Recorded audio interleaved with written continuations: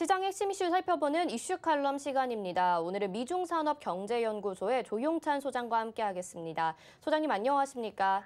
예, 안녕하십니까? 네, 전 세계가 러시아 은행을 스위프트에서 배제하게 됐습니다. 이에 따라서 루브라가 또 30%가량 하락을 하게 됐는데요. 스위프트 제재가 러시아 금융시장이나 무역에 어떤 영향들을 미치게 될지 궁금합니다. 어떻게 될까요? 예, 그 스위프트라는 것은 뭐 국제은행 간 통신협회 결제 시스템을 말하는데요. 뭐 200여 개 국가 또만천 곳의 금융기관들이 사용하는 전산망입니다.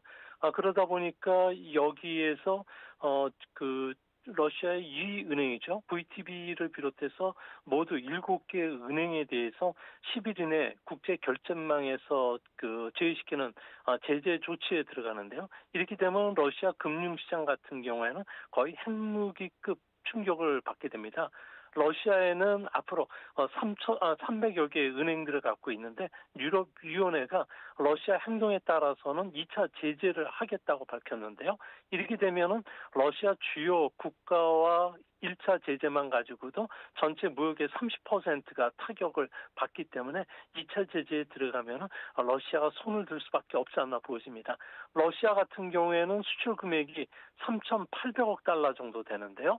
무역의 90%는 달러로 걸치가 됩니다. 만약에 구 소련 동맹국 20개국이죠. 이들과 루브라로 결, 어, 결제를 하고 있는데 아, 이렇게 결제를 하더라도 전체 거래 32%에 불과하고요. 나머지 68% 무역을 하는 나라는 달러를 결제할 수가 없기 때문에 시간이 지날수록 러시아 경제는 타격이 커질 것으로 보여집니다. 네, 이렇게 러시아에 대한 경제 제재로 러시아 경기 침체까지 이어질 수 있을 것 같은데 이런 부분이 또 장기화되게 된다면 지금 에너지 공급난에 대한 우려도 있고요. 세계적으로 경제에 대해서도 타격이 있지 않을까요? 네, 그렇습니다. 2018년에 이란이 스위프트 제재를 받았는데요. 어, 북한도 제재를 받았는데 뭐 이란 같은 경우에는 수출이 당장 3분의 1로 급감했고요. GDP도 8% 정도 하락을 했습니다.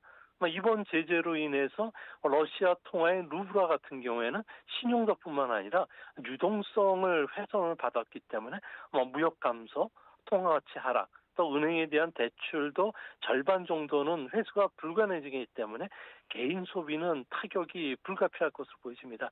이렇게 되면 어, 러시아의 GDP는 10%포인트 정도 떨어지게 되는데요.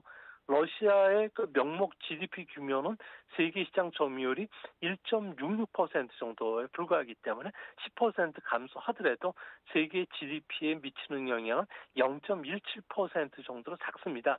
아, 아, 하지만 어, 문제는 러시아가 세계 에너지 공급망의 가장 핵심 국가이기 때문에 어, 에너지 공급망 타격뿐만 아니라 식량 자원 가격까지도 급등시키게 되는데요. 이렇게 되면 앞으로 2차 경제적 피해가 에너지 가격 상승을 한다든지 반도체나 자동차, 휴대폰에 들어가는 어, 팔라디움, 리튬과 같은 소재 공급망이 훼손이 되기 때문에 세계 GDP는 시간이 갈수록 마이너스 0.5에서 마이너스 1%포인트 정도 충격을 줄 가능성이 높습니다. 네, 그런데 이제 국제 금융 시장에서는 스위프트 제재를 최강의 어, 최종 무기다 이렇게 이야기를 하고 있습니다. 그만큼 러시아 입장에서는 타격이 클 것 같은데 러시아가 또 이 방법을 피할 수 있는 수단을 어떤 것들을 마련하지 않을까 싶기도 하거든요. 이 부분은 어떻게 보시나요? 예, 러시아 같은 경우에는 최대 은행이죠. 스메르방크 같은 경우에는 어, 러시아 내 1만 4천 개 지점을 갖고 있고요. 어, 자산 규모는 130 6억 유로 로 1입니다. 또 지분의 50%는 정부가 갖고 있기 때문에 이 은행이 무너지지 않는 한 러시아 같은 경우에는 그나마 에너지 무역은 할 수가 있는데요. 이제 에너지 공급망까지도 2차 제재 대상이 될 가능성은 러시아 군사 행동에 따라서 취해질 가능성이 높습니다.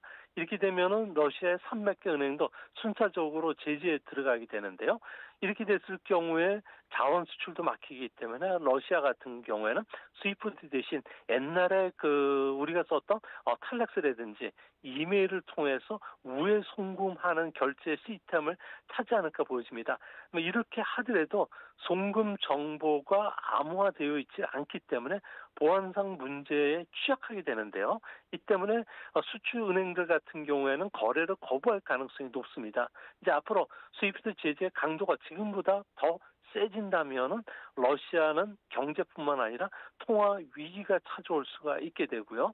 이는 세계 금융 시장에도 혼란을 초래할 수가 있기 때문에 하루 빨리 러시아가 어, 우크라이나에 대한 어, 경제적과 관련된 부분을 막아내기 위해서 침공을 처리하는 게 가장 좋은 방법이 되지 않을까 생각이 됩니다. 네, 어, 유가에 대해서도 이야기를 좀 해보면요. 지금 7년 8개월 만에 유가가 100달러를 돌파를 하게 됐습니다. 세계 주요 경제 예측기관에서는 이런 고유가 시계, 시대가 장기화될 것이다 이렇게 전망을 하고 있는데요. 어느 정도까지 기다, 어, 길어질 거라고 보시나요? 네, 현재 WTI 가격은 1배럴에 113달러까지 치솟았는데요.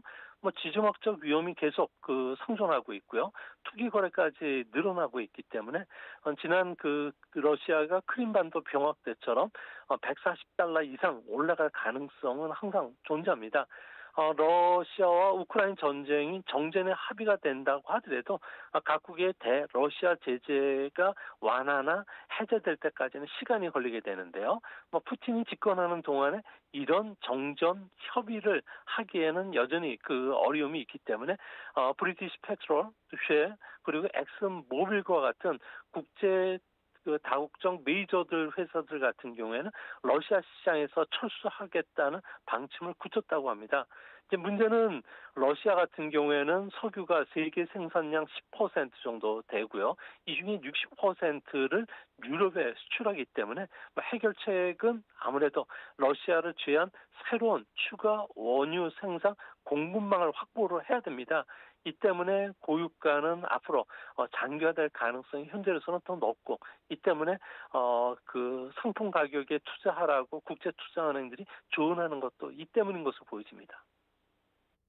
네, 새로운 원유 추가 생산 공급망을 찾아야 된다 이렇게 말씀을 해주셨습니다. 근데 지금 유가뿐만이 아니죠. 밀 가격도 14년 만에 최고치를 기록을 하고 있는데요. 원유만큼이나 다른 대체 방안을 찾기가 쉽지 않아 보입니다. 이런 공량, 곡물 식량 가격에 대해서는 어떻게 보시나요? 네, 그 러시아하고 우크라이나 같은 경우는 세계 곡창지대라고 하는데요. 뭐 양국은 세계 무역량에서 차지하는 밀의 비중이 30%, 옥수수 같은 경우는 19%를 차지하고요. 세계 최대 해바라기 유 생산 국가고 또 수출 국가이기도 합니다. 뭐 우크라이나 같은 경우에는 유럽의 빵 바구니라고 불릴 정도로 전 세계 밀 수출량의 12%를 차지하는데 현재 주요 상업 항구가 모두 폐쇄가 됐습니다. 이 때문에 국제 밀 가격 같은 경우는 2008년 이후에 최고치를 경신했는데요. 저 걱정스러운 점은 곡물 그 메이저죠. 카길, 아처, 다니엘 그 미들랜드 같은 경우에도 어, 우크라이나 러시아의 사업을 모두 중단시켰습니다. 이번 전쟁으로 인해서 우크라이나의 봄 밀 파종 시기가 다가오는데 파종을 할 수가 없다면 내년까지 밀 공급에 영향을 끼치게 될 수밖에 없을 거로 보여집니다. 뭐 현재 밀 같은 경우에는 1불세당 9.84달러 어, 정도가 되는데요. 이제 앞으로 그 2008년 최고치인 13달러까지도 어, 충분히 올라갈 수 있지 않나 보여집니다. 뭐 이렇게 된다면 빵이나 과자, 라면, 어, 파스타, 천류, 대두유, 냉동식품 가격 급등하는 것뿐만 아니라 러시아산 수산물이라든지 백금, 팔라디움, 알루미늄, 니켈, 구리까지도 어, 제재로 인한 가격 상승은 피해가긴 어려울 것으로 보여집니다. 네, 이렇게 원유 상승이나 곡물 가격이 상승이 장기화될 가능성이 높다라고 말씀을 하신 것 같습니다. 한국 경제도 미치는 영향이 있을 것 같은데요. 이 부분은 어떻게 보시나요? 네, 현대 경제 연구원에 따르면 우리나라 같은 경우는 자원의 해외 의존도가 OECD 국가 중에 가장 높습니다. 이 때문에 어, 원유 그 국제 원유 가격이 어, 100달러 시대가 된다면은 아무래도 그 우리나라 성장률은 마이너스 0.3% 포인트 감소하는데 이제 국제 유가가 곧 120달러를 넘어갈 것으로 보여지는데요. 이렇게 되면 경상 수준은 516억 달러 적자뿐만 아니라 어, 성장률도 4%포인트 떨어지게 되고요. 소비자 물가 지수는 1.4% 정도 올라가게 된다고 합니다. 이렇게 되면 기업 입장에서는 어, 투입 비용이 상승하기 때문에 산출 가격의 그, 그 인상분을 전가하기 어려운 기업일수록 악영을 받게 되는데요. 뭐 정유나 철강, 화학, 전력, 가스, 도로 운송, 항공업종의 실적 악화도 불가피하게 되고요. 우리나라는 가솔린이나 전력, 가스 요금 같은 경우에는 3개월에서 5개월 실차를 두고서 최종 가격에 반영이 됩니다. 이 때문에 지금 물가 상승은 당장 2분기부터 소비자 물가뿐만 아니라 생산자 물가 지수를 끌어올리기 때문에 우리나라의 실질 구매력 하락을 초래하게 되고요. 개인 소비 위축뿐만 아니라 기업의 설비 투자 감소를 가져올 가능성이 있기 때문에 어, 다음번 3월 9일 어, 새 정부가 들어선다고 하더라도 이 문제를 가장 먼저 시급하게 서둘러서 처리해야 되지 않나 보여집니다. 네, 국내에 미치는 영향까지 말씀을 해주셨습니다. 자, 오늘 새벽에는 바이든 대통령이 일반 교서를 발표를 했습니다. 여기에 지금 우크라이나와 러시아와의 갈등에 대한 언급도 있었던 것으로 밝혀졌고요. 또 한국과 관련된 정책들도 눈에 띄었습니다. 국제 질서에 어떤 변화들이 있을지 궁금한데요. 관련된 내용 말씀 부탁드릴게요. 네, 바이든 대통령이 처음 그 연두 교서를 발표했는데요. 여기에 핵심은 푸틴을 정조준해서 대가를 치르게 만들겠다고 약속한 것입니다. 뭐 자유는 항상 전제주의죠. 그 독재를 이긴다고 말을 뗀 뒤에 러시아의 고통을 주기 위해서 강력한 경제 제조와 더불어서 어, 군사력을 약화시키기 위해서 서방의 첨단 기술 접근을 막겠고요. 또 우크라이나를 돕기 위해서 경제나 금융, 특히 10억 달러 이상의 지원을 하겠다고 약속을 했습니다. 이제 우리나라도 러시아를 고립시키기 위해서 어, 조치에 써야 될 것으로 보여지고요. 러시아 같은 경우에는 앞으로 모든 항공기 같은 경우는 미국이나든지 동맹국 영공에 들어 오는 것을 막기 위한 폐쇄 조치에 들어가기 때문에 앞으로 러시아와 우리나라의 관계도 상당히 좀 악화되지 않을까 보여집니다. 아, 또한 가지는 코로나 문제, 또 인플레이션에 대해서 어, 역점을 두고서 대응하기로 했는데요. 이제 앞으로 인플레이션을 낮추기 위해서는 미국은 임금을 어, 낮추는 전략보다는 비용을 낮추는 전략으로 돌아서겠다는 겁니다.